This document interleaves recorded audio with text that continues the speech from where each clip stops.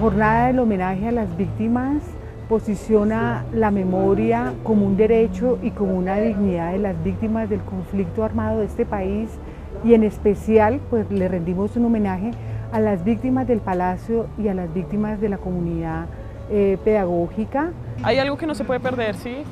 Y es precisamente toda esta clase de experiencias que nosotros tenemos, sean buenas, sean malas, sean alegres, sean tristes no se pueden perder y se tienen que seguir recordando. Intentar tapar con olvido la memoria de los desaparecidos o de acciones que son eh, muy importantes para una comunidad.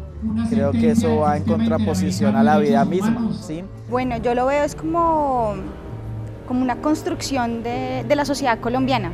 ¿sí? Necesitamos recordar esto porque es lo que nos conforma.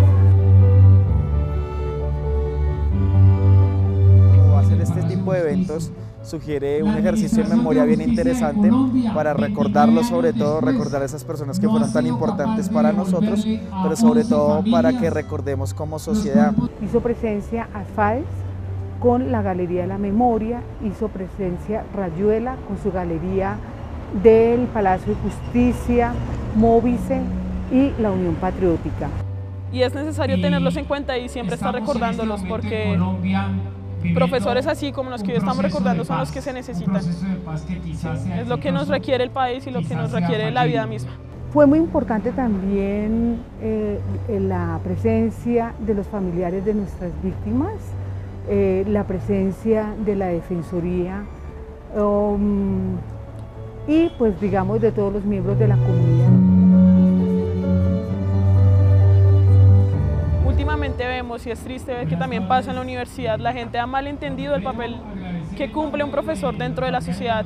Entonces se cree que un profesor es el que va a un aula y, y solo da los conceptos de X o Y materia, pero se olvidan del verdadero acto que requiere ser pedagogo, que es ser maestro, que es más que enseñar a leer, a escribir o a entender la sociedad, a hablar otra lengua, es precisamente sembrar sueños. A mí me hace pensar es que se está conformando una universidad más humana, que piensa verdad en las personas y, que tiene en cuenta, digamos, este problema que es un problema nacional, muy en cuenta y que pues es importante resaltarlo.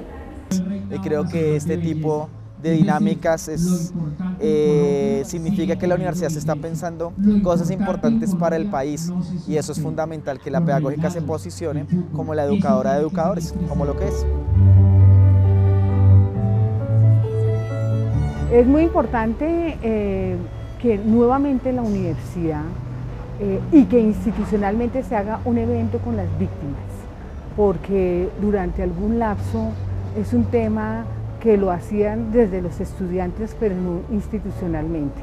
Y ese fue el sentido, eh, máxime, el compromiso que tiene la universidad pública con las agendas de país y en el proceso actual que está viviendo el país, entonces la universidad pública no puede quedar relegada y tiene, y máxime la pedagógica, que nos tenemos que asumir el reto de plantear propuestas de pedagogía para la paz.